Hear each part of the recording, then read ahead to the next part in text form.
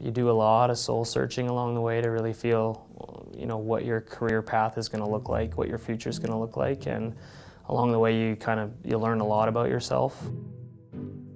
It's just this mixture of exciting and terrifying. So you're just like in limbo. Generally for me, meeting people and interviews are kind of almost exciting that I'm going to get to see a new program, see a place, but I didn't expect it to be this stressful. When you go through this whole CARMS process, you really get an opportunity to travel to those places and experience what it would be like, what the people are like in the program and get a sense of if you'd fit in in that community and, and within that group of, of residents and staff and faculty.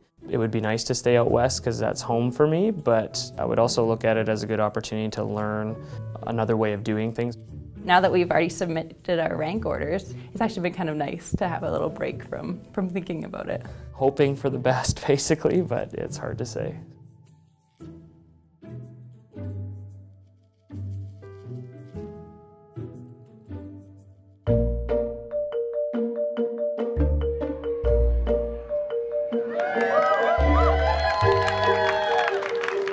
Lot of screams, like a lot of squeals, you know, just so many of our classmates matched these places that are known to be so competitive. And I think we were all a little bit apprehensive and and it's just so exciting to hear that people are going somewhere that they want to go.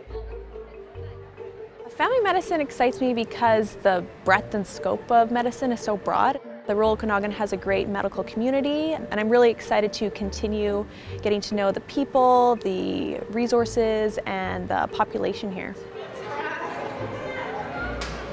Match to Vancouver for pediatrics. So very excited to be uh, going to Vancouver. It's um, kind of a home away from home for me and close to home uh, with my family here in the Okanagan. So opened up the email just by myself at home, but uh, called my mom immediately afterwards who was at work and uh, she was pretty tearful, but uh, very exciting.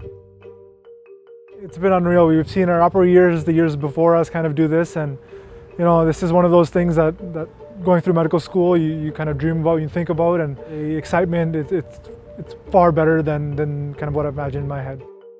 This kind of energy is not really seen anywhere else, and, and so just to be able to come here and see everyone doing so well, uh, I can't describe the, the energy in their room.